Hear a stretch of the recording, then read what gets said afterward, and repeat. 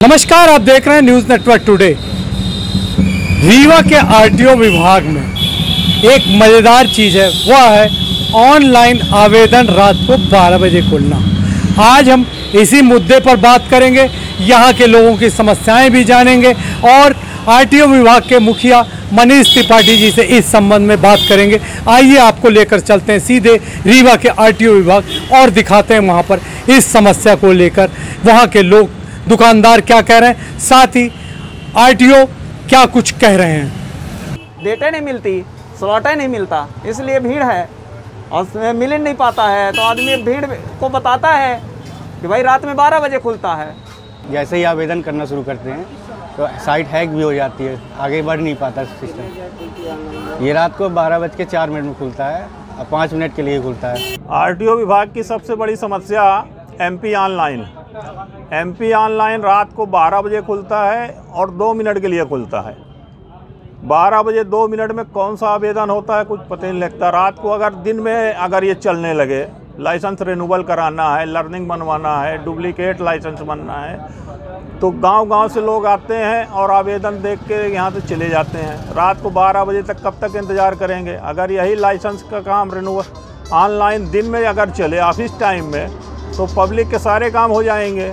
इस समय बस वस भी साधन नहीं चल रहा है, इसलिए उनको बड़ी दिक्कत हो रही है। क्या है कि जो एमपी ट्रांसपोर्ट का ये जो साइड है सर इसमें जो स्लॉट है वो बंद है सर जो स्लॉट है वो बंद है। और जैसे कि आपका सतना का हो गया आरटीओ सतना आरटीओ में हो गया। बहुत सारे जो प्रदेश के अंदर जितने भी आरटीओ हैं, उसमें सारे ये, सभी के आवेदन हो रहे हैं। आज आप आवेदन लगाइए, कल का डेट मिल जाएगा। लेकिन ये रीवा आरटीओ जो है इसमें आपका लर्निंग का अपॉइंटमेंट करना है तो पंद्रह दिन बाद का अपॉइंटमेंट आपको मिलेगा। अगर आप लाइट का अपॉइंटमेंट कराना चाहते हैं तो सात दिन बाद मिलेगा। अगर आप हैवी का भी कराना चाहते हैं तो भी सात दिन बाद मिलेगा। मतलब कि और जो साइड है मेन साइड वो रात में बारह बज के तीन मिनट में खुलता है। मैंने तीन चार बार कंप्लेन भी हम इस समय मौजूद हैं नेशनल हाईवे 30 पर।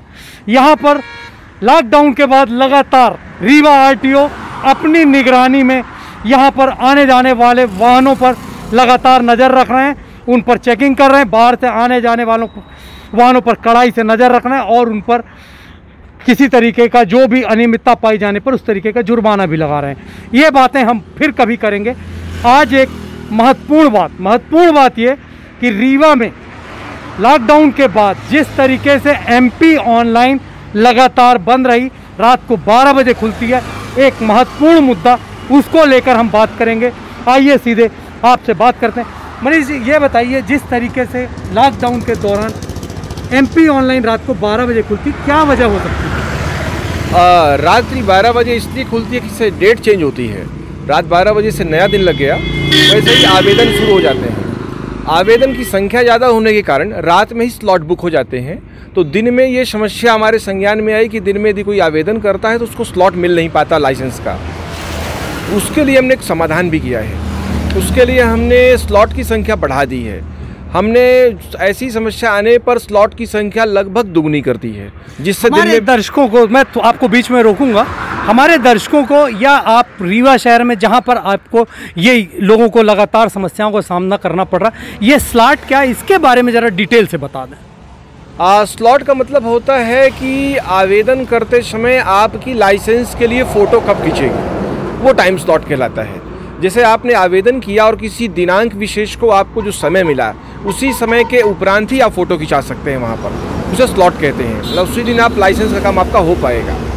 अभी एक समस्या ये जा रही थी कि रात के समय ही स्लॉट भर जा रहे थे। नाइट के समय कई आवेदकों का ये कहना था कि हम रात को जाग नहीं पाते, सुबह होते स्लॉट भरा मिलता है। उसका हमने ये किया, समस्या का समाधान स्लॉट की संख्या हमने दुगनी कर दी है। दुगनी करने से बहुत हद तक समस्या का समाधान हो गया है। और यदि आवश्यकता पड़ेगी इसे और बढ़ाने की तो हम इसे और बढ़ा देंगे, जिससे आवेदकों को किसी तरीके की समस्या ना जाए।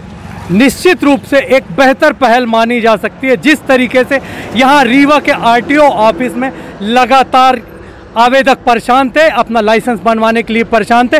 पहले तो स्लॉट बढ़ाया गया, जैसा कि आपको स्लॉट के बारे में आरटीओ साहब ने खुद बताया। अगर उनका कहना इस पर भी दिक्कत आएगी तो निश्चित रूप से हम स्लॉट की संख्या और बढ़ाएँगे। न्यूज़ नेटवर्क टुडे के लिए मैं जावेद अंसारी, समीम सौदागर के साथ। घर पर रहिए, सुरक्षित रहिए, अपना और अपने परिवार का बहुत बहुत ख्याल रखिए। अगर आपने चैनल को सब्सक्राइब नहीं किया है तो चैनल को सब्सक्राइब करें और बेल आइकन दबाएँ। और देखते रहिए न्यूज़ नेटवर्क टुडे।